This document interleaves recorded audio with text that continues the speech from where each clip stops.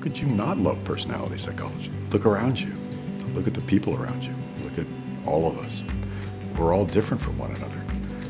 And it's, it's real, it's robust, right? It doesn't, it doesn't take a scientist to look around and notice in a, a group of you know, psychologists even that we come in all shapes and sizes and forms and behaviors and, and personalities. I think personality psychology probably is the closest thing to the reason why most of us uh, measure psychology as opposed to economics or something else. To me, it was just, I wasn't interested in physical material world of chemistry or physics. I was more interested in people, why people do certain things. So I've always been interested in how our conclusions depend on the way we measure our constructs. And in psychology, that's really important because we're trying to measure these constructs that are very abstract, like personality or love or intelligence or leadership.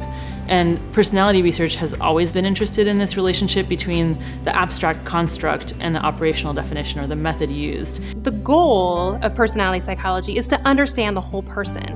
And personality psychologists acknowledge that in order to do that, we need to look at people from multiple perspectives. That if we just look at one perspective, we're only going to get a very narrow understanding of what a person is like. And if we want to understand the whole person, we have to look at them from multiple perspectives in order to gain that broader understanding. What I love most about personality psychology is that it really focuses on individual differences. So it really appreciates that um, individuals differ from each other and all of those differences are really important. Mm. And the fact that personality influences all the things that we regularly do, I think creates an even bigger motivation that this can be used as a point of intervention in future research.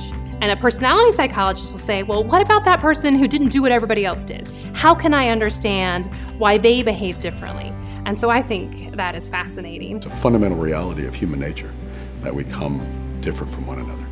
And it's a beautiful thing in the sense that each person has the potential to have their own unique story that makes them unique and interesting in their own right. But then the differences among us and the reasons for that are just an intriguing issue that I know I've had a hard time getting off of.